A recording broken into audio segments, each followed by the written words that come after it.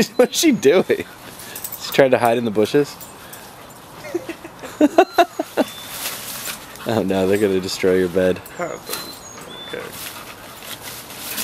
I didn't even plant those things. They're, I ripped them all out last year. Oh, they just came up? Came back. Those things are so hard to get rid of.